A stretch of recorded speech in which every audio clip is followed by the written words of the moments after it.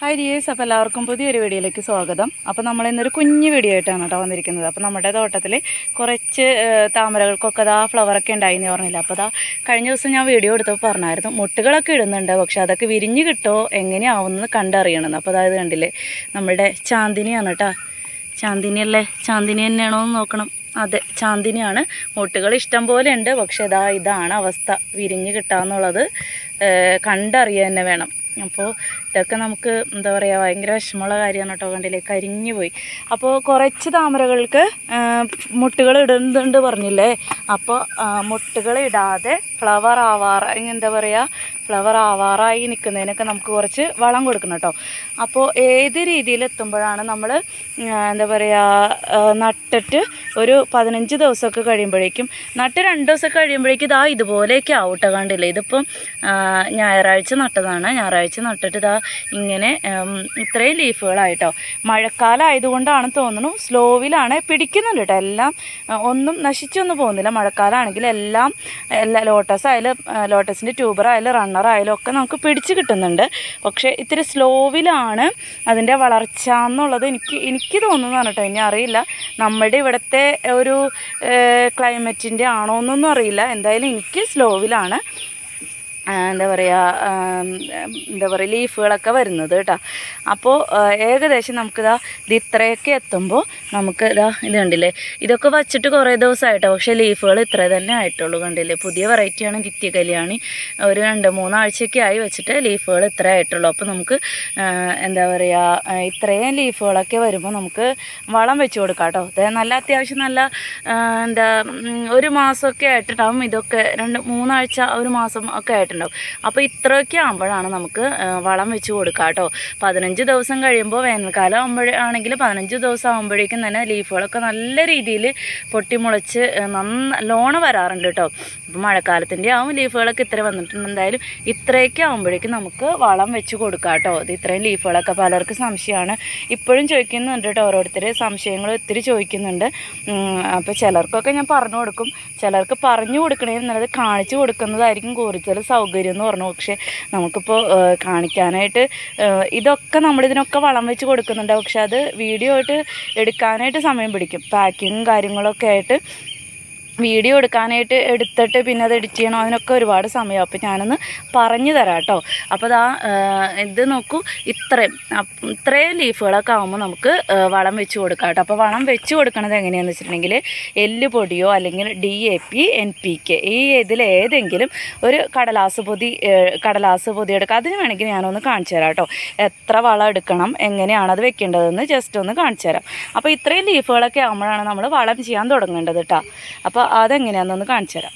അതുപോലെ ഒരു കടലാസ് കഷ്ണം എടുക്കാം. എന്നിട്ട് നമുക്കിതാ ഇത് ഇത്രയും കണ്ടോ? ഈ ഒരു സ്പൂണിൽ ഇത്രയാണ് കേട്ടോ ഞാനിപ്പോൾ ഇട്ട് കൊടുക്കുന്നത് കണ്ടില്ലേ? ഇത് ഡി എ പി ആണ് കേട്ടോ. ഇതാണ് ഡി എ പി ഏകദേശം വെണ്ടക്കുരു പോലെയൊക്കെ ഇരിക്കുന്നത് ഡി എ പി അപ്പോൾ ഇതാ ഈ ഒരു സ്പൂണിൽ കാണുന്നുണ്ടോ എന്ന് അറിയില്ല കേട്ടോ എന്താ വെച്ച് കാണിച്ചു തരാം. ഈ ഒരു സ്പൂണിൽ ഇത്രയാണ് ഞാൻ ഡി എ പി എടുത്തിരിക്കുന്നത്.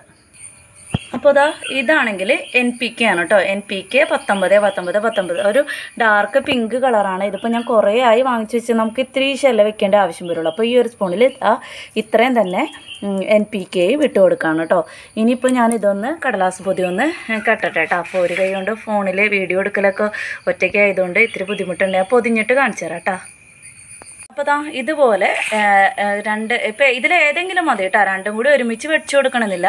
ഞാനിപ്പോൾ ഇതിൽ ഇതിൽ ഏതെങ്കിലും ഉപയോഗിക്കാം എന്ന് നിങ്ങളെ കാണിക്കാൻ വേണ്ടിയിട്ട് കാണിച്ചു തന്നുള്ളൂ ഒന്നിൽ ഡി എ പി ഒന്നിൽ എൻ പി കെ. അപ്പോൾ ഇതിലേതെങ്കിലും ഇത് രണ്ടും കിട്ടിയില്ലെങ്കിൽ എല്ലുപൊടി ആയാലും ഇതുപോലെ കടലാസിൽ ചെറിയൊരു കിഴി പോലെ കെട്ടിയിട്ട് നമ്മൾ ലോട്ടസിന്റെ ഡബ്ബിൽ നടുക്കായിട്ട് ഇറക്കി വയ്ക്കാം കേട്ടോ.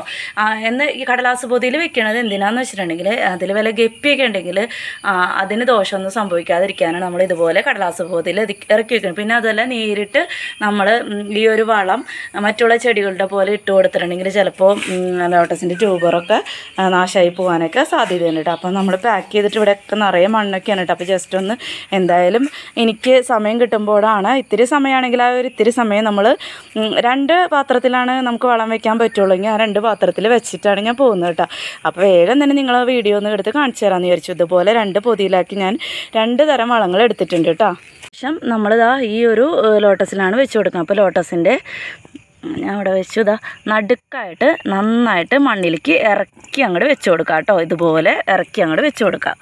അപ്പോൾ ഇതാ അടുത്തതിൽ ഇതും ഇതിനുമാണ് ഇപ്പോൾ ഞാൻ വെച്ച് കൊടുക്കുന്നത് കേട്ടോ. അതാ നടുക്കായിട്ടാണ് വെച്ച് കൊടുക്കേണ്ടത്. സൈഡിൽ കൂടി റണ്ണറും ട്യൂബറും ഒക്കെ ഓടി തുടങ്ങിയിട്ടുണ്ടാവും. അപ്പോൾ സൈഡിലൊന്നും കൊള്ളരുത്. നന്നായിട്ട് അങ്ങോട്ട് ഇറക്കി വെച്ച് കൊടുക്കാം കേട്ടോ. അപ്പോൾ ഇങ്ങനെ ഒരു പ്രക്രിയ നമ്മൾ പതിനഞ്ച് ദിവസം കൂടുമ്പോൾ പതിനഞ്ച് ദിവസം കൂടുമ്പോൾ ചെയ്താൽ നന്നായിട്ട് ഫ്ലവറൊക്കെ ഉണ്ടാവും കേട്ടോ.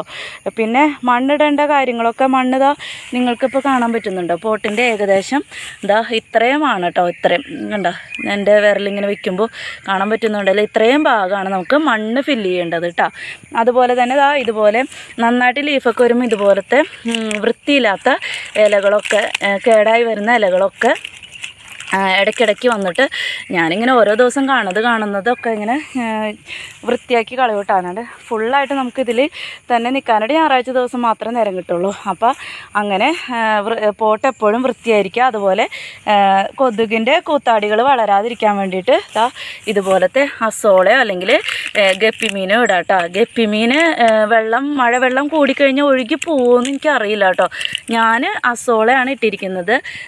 ഗപ്പിമീൻ പറഞ്ഞ പോലെ ഇട്ട് കഴിഞ്ഞിട്ടുണ്ടെങ്കിൽ ഇത്ര അധികം ഡബ്ബുകളിൽ നിൽക്കി നമുക്ക് ഗപ്പീനെ ഇടാനായിട്ട് മുതലാവില്ല. കാരണം അത്രയ്ക്ക് ഇവിടെ ഇത്രയുണ്ട് മുകളിലും ഉണ്ട് കേട്ടോ അപ്പം ഞാൻ അസോളയാണ് കൂടുതലും ആ, കൊതുകിന്റെ കൂത്താടി വളരാതിരിക്കാൻ വേണ്ടിയിട്ട് ഇടുന്നത് കേട്ടോ കൊതുകിന്റെ കൂത്താടി ഇട്ട് കഴിഞ്ഞിട്ടുണ്ടെങ്കിൽ കൊതുക് അല്ല സോറി അസോള ഇട്ട് കഴിഞ്ഞിട്ടുണ്ടെങ്കിൽ കൊതുകിന്റെ കൂത്താടികളൊന്നും വളരാതെ നല്ല വൃത്തിയിലിരിക്കും. അതുപോലെ തന്നെ വെള്ളം എപ്പോഴും ക്ലിയർ ആയിരിക്കുക. പിന്നെ വെള്ളത്തിന് ചില സമയത്ത് ഇങ്ങനെ പൂപ്പൽ പാട പോലെ കെട്ടാറുണ്ട്.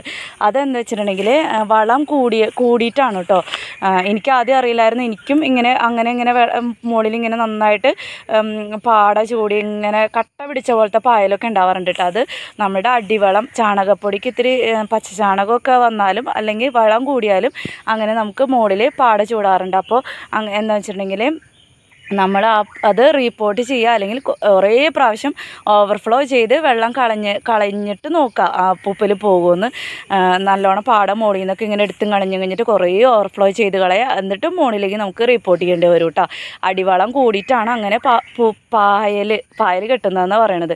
പിന്നെ വെക്കുമ്പോൾ തന്നെ ഫസ്റ്റ് എല്ലുപൊടി ഫസ്റ്റ് ലെയർ എല്ലുപൊടി രണ്ടാമത്തെ ലെയർ ഉണങ്ങിയ ചാണകപ്പൊടി മഴക്കാലത്തൊക്കെ ഉണങ്ങിയ ചാണകപ്പൊടി നമുക്ക് ഇതിലൊക്കെ ഷോപ്പിലൊക്കെ വാങ്ങിക്കാൻ കിട്ടും കേട്ടോ വീടുകളിലൊക്കെ ഞാൻ അന്വേഷിച്ചപ്പോൾ ഇപ്പോൾ മഴക്കാലം ആയതുകൊണ്ട് തന്നെ ഉണങ്ങിയ ചാണകപ്പൊടിയൊക്കെ കിട്ടാനായിട്ട് ബുദ്ധിമുട്ടാണ്. അപ്പോൾ ഞാനിപ്പോൾ ഷോപ്പിൽ നിന്നാണ് വാങ്ങിക്കുന്നത്. മുന്നേ അടുത്ത വീട്ടിൽ ഒരു പശുവുള്ള ഒരു വീടുണ്ട്. അവിടെ പോയിട്ടൊക്കെയാണ് വാങ്ങിക്കാറ് കേട്ടോ അപ്പോൾ വേനൽക്കാലത്തെ തന്നെ എല്ലാവരും കൃഷി ആവശ്യത്തിനായിട്ട് ചാണകപ്പൊടിയൊക്കെ സ്റ്റോക്ക് ചെയ്ത് വെക്കണാറും നമുക്ക് ഈ ചെറിയ ചെറിയ ആവശ്യത്തിനൊന്നും കിട്ടാറില്ല കേട്ടോ. അപ്പം അഞ്ച് കിലോന്റെ ഒരു ഒരു ചാക്ക് അഞ്ച് കിലോന്റെ ഒരു ചാക്കിന് നൂറ് രൂപയ്ക്കാണ് കേട്ടോ ചാണകപ്പൊടി നമ്മൾ വാങ്ങിക്കുന്നത്. അങ്ങനെ ഫസ്റ്റ് ലെയർ എല്ലുപൊടി രണ്ടാമത്തെ ലെയർ ചാണകപ്പൊടി പിന്നെ മണ്ണ്. ഞാൻ യൂസ് ചെയ്യുന്നത് മുറ്റത്തെ മണ്ണാണ് കേട്ടോ എല്ലാവരും ചെളി വേണമെന്ന് ചോദിക്കാറുണ്ട്. ചെളിയുടെ ആവശ്യമൊന്നുമില്ല ചെളി കിട്ടുകയാണെങ്കിൽ നല്ലതാണ്. ചെളി കിട്ടാത്തത് കൊണ്ട് നമുക്ക് താമര വെട വെക്കാ വെക്കാന്നുള്ള ആഗ്രഹം വേണ്ടാന്ന് വെക്കേണ്ട.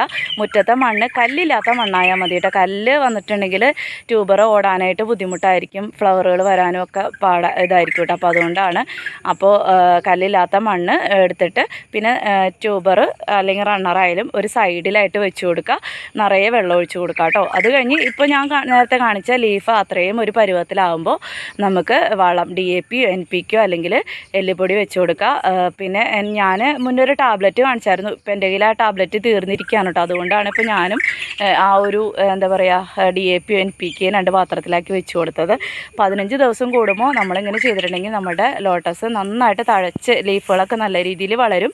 അതുപോലെ തന്നെ നന്നായിട്ട് പൂക്കളിടുകയും ചെയ്യും. പിന്നെ വേറൊരു കാര്യം എന്ന് വെച്ചിട്ടുണ്ടെങ്കിൽ എന്നും ഡെയിലി നമ്മളൊരു പത്ത് മിനിറ്റ് ലോട്ടസിന്റെ അടുത്ത് ചെന്ന് നോക്കുക. വല്ല പുഴുക്കളോ മറ്റോ കീടങ്ങളോ ഒക്കെ വന്ന് ഇല വെട്ടി നശിപ്പിക്കുന്നുണ്ടോ നോക്കണം. ഡെയിലി വളമൊന്നും ചെയ്തില്ലെങ്കിൽ ചെന്ന് നോക്കിയില്ലെങ്കിൽ അതിന്റെ ഇലകളൊക്കെ നശിപ്പിച്ച് കളയും. പിന്നെ എന്ന് വെച്ചിട്ടുണ്ടെങ്കിൽ നല്ല വെയിലുള്ള സ്ഥലത്തായിരിക്കണം വെക്കേണ്ടത്. വെയിലാണ് പ്രധാനം. പിന്നെ കേട് ലീഫുകൾക്ക് ഇങ്ങനെ ഒരു ഫംഗസ് ബാധ പോലത്തെ ഇതാ ഇങ്ങനത്തെ ഒരു അസുഖം വരുന്നുണ്ട്. അത് ശ്രദ്ധിക്കാം.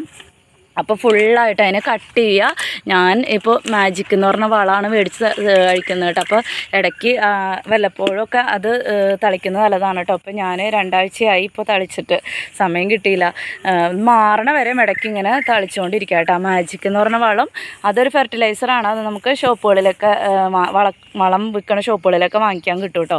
അപ്പോൾ ഇത്രയൊക്കെ ചെയ്താൽ നമുക്ക് നല്ലൊരു താമരത്തോട്ടം നമുക്ക് നമ്മുടെ നമുക്ക് നമ്മൾ നമ്മുടെ എന്താ പറയുക എല്ലാവരുടെ ഒരു ആഗ്രഹമാണല്ലോ ഒരു സ്വപ്നമാണ് മുറ്റത്തൊരു താമര വിരിഞ്ഞ് നിൽക്കുക എന്നുള്ളത്. അപ്പോൾ അത് നല്ല രീതിയിൽ നമുക്ക് സാധിപ്പിച്ചെടുക്കാൻ പറ്റും കേട്ടോ അപ്പോൾ ഇന്നത്തെ വീഡിയോ ഇത്ര തന്നെയുള്ള ഒത്തിരി പുതിയ സബ്സ്ക്രൈബേഴ്സ് ഉണ്ട് കേട്ടോ നമുക്ക്. അപ്പോൾ അവർക്ക് അറിയാം. അവരൊക്കെ ഇങ്ങനെ വീഡിയോയിൽ ആദ്യമായിട്ട് നടന്ന ഒത്തിരി പേരുണ്ട് കേട്ടോ ഇപ്പോൾ എനിക്ക് തോന്നുന്നു കൂടുതലും ആളുകൾ വാങ്ങിക്കുന്ന പുതിയ ആൾക്കാരാണ്. അപ്പോൾ അവരെപ്പോഴും ഇങ്ങനെ ചോദിക്കുകയാണ് നിങ്ങൾ ഒന്ന് കാണിച്ചു തരുമോ പറഞ്ഞു തരുമോ എന്ന്. അപ്പോൾ ഓരോരുത്തർക്കായിട്ട് ഇങ്ങനെ പറഞ്ഞു കൊടുക്കായില്ല എനിക്ക് സമയം പോലെ പറഞ്ഞു കൊടുക്കുന്നുണ്ട് എന്നിരുന്നാലും ഒന്ന് വീഡിയോ ആയിട്ട് കാണിച്ച പറഞ്ഞു തന്നിട്ടുണ്ടെങ്കിൽ നിങ്ങൾക്ക് എല്ലാവർക്കും ഉപകാരപ്പെടുമെന്ന് വിചാരിച്ചു വിചാരിക്കുന്നു കേട്ടോ അപ്പോൾ ഇനി ഡീറ്റെയിൽഡ് ആയിട്ടുള്ള വീഡിയോ നമുക്ക് സൗകര്യം പോലെ ഏതെങ്കിലും ഒരു ദിവസം ചെയ്യുന്നതായിരിക്കും.